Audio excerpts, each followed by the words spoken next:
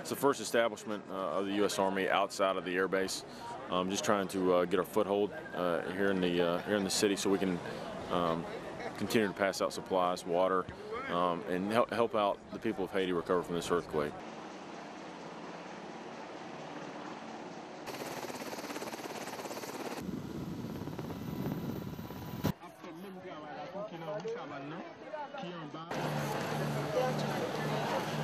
Holy shit.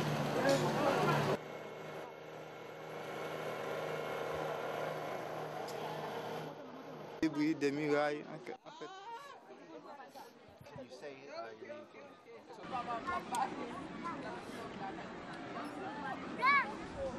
And we got many injuries.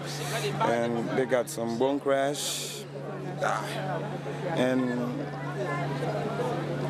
however, we don't know what to, what to do else. We can do nothing else and we can make nothing else.